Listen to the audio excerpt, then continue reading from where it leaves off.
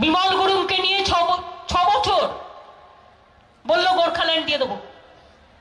যেই ইলেকশন আসে একটা করে গোর্খাল্যান্ড দেয়, কটা গোর্খাল্যান্ড হয়েছে চোদ্দয় বলেছে একটা জিতেছে। আঠেরোয় বলেছে আর একটা জিতেছে। আমরা কিন্তু জিতি নাই, কারণ আমি আমি বলি নাই, তাই আমি জিতি নাই। তাতে আমার কোনো জয় আসে না। বলেছিল কি বলেনি?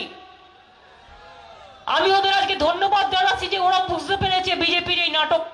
আর বিজেপির মিথ্যে কথা বলার কুৎসাটা I thank all my Darjeeling brothers and sisters আমার পাহাড়ি ভাই বোনেদের দার্জিলিং এর পারমানেন্ট পলিটিক্যাল সলিউশন করলে আমরাই করব, ওরা করতে পারবে না, ওদের দ্বারা সম্ভব নয়। আর দার্জিলিং টরাই ডুয়ার্সের মধ্যে গুন্ডামি লাগানো, মারপিট লাগানো, এসব নয়। দার্জিলিং দার্জিলিং এর মতো ভালো থাকবে।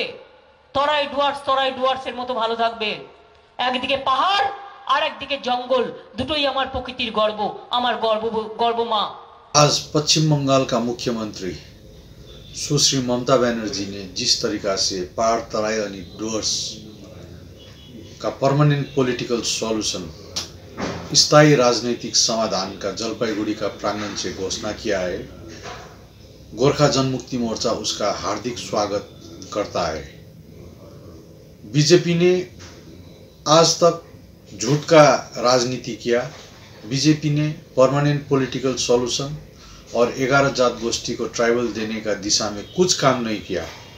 तो हम लोग मिस ममता बनर्जी का ऊपर हम लोग आश्वस्त है कि वो जल्द ही जल्द ये कार्य पूरा करेगा और हम लोग उनको धन्यवाद भी देते हैं।